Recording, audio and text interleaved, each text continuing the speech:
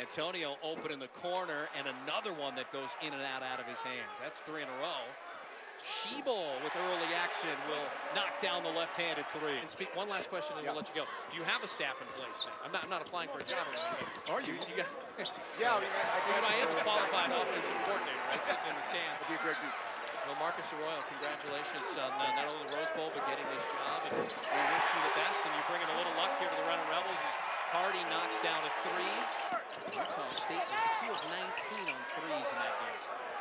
John one-on-one in the post against Swan. A Little drop step, and the bucket goes down. This is starting to look like those Air Force teams uh, in the early 2000s. Really grinded it out. And Brake Jean on Swan there in the John, again, they'll dare him to take that. Seven to shoot. Hamilton, the spin move, and gets it to go down to the paint. Turnovers, not forcing turnovers now, but they're doing a good job of not allowing Air Force to score the basketball. Yeah, Air Force has not turned the basketball over. Count it. And there's that Hamilton fella. What game of the season? The other one against Fresno State.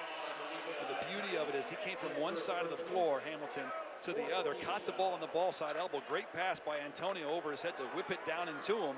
Obviously has enough talent to be on the floor and be productive for his team. He's a high IQ basketball player. He puts in maximum effort, and that's why he continues to get more playing time with Coach Otzelberg. And there is Bryce Hamilton getting penetration. Gets layups, doesn't he? That's Yeah. what he does. Diong fights for the loose ball against Swan and takes it away. Running Rebels by 13 to Diong. Diong with a mismatch, the reverse, and count it. Overall, 3-0 in the conference. They'll catch Nevada, who won today. And there's a drive and a bucket. And five minutes to go in the second half. The game is not over. You know, that three-pointer is a great equalizer. If they get hot again like they did in the first two minutes, watch out. Watch out. Oh, Coleman.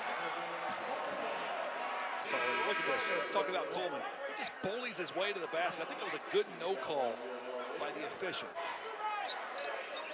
Starting to see UNLV use a little bit more clock here here in the half court. My Oh, goodness. Hamilton, a great dribble behind his back and finishing at the rim. 12-point advantage for the Running Rebels, who were down by as many as 11 until Hamilton came alive here in this uh, second half. Turnover. Brown pushes it up.